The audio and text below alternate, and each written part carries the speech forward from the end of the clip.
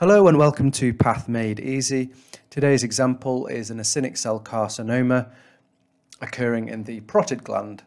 So much of this slide is composed of tumour, which is this purple uh, lesion, and we have some normal uh, tissue on the edges. So just to show you, we have some nice serous acini, some striated ducts and some adipose tissue. So that's normal gland and our tumour is all of this.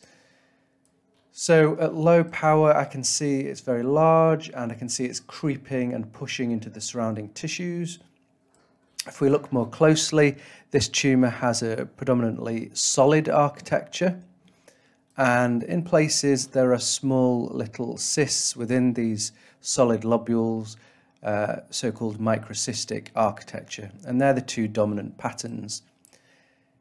If we look at the cells in more detail, I can see kind of light zones and dark zones. So where the cells are lighter, they've got clear cytoplasm.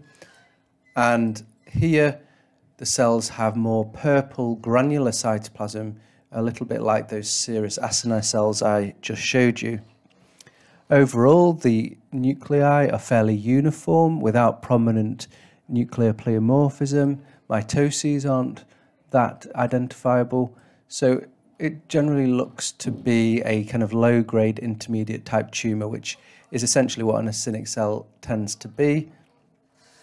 They often occur with lymphoid tissue, which we can see here, so called tumour associated lymphoid proliferations. So, this is an acinic cell carcinoma. It will be positive for things like CK7 and DOG1, and negative for myoepithelial markers such as S100, P63 and SMA. Um, this particular tumour can get confused with a secretory carcinoma, but they contain uh, mammoglobin expression and also harbour an ETV6 translocation. There is a new marker for acinic cell carcinomas called NR4A3, which is supposed to be highly specific for this tumour. So this was an acinic cell carcinoma. If you enjoyed this video, please don't forget to like and subscribe to our channel, Path Made EZ. Thank you.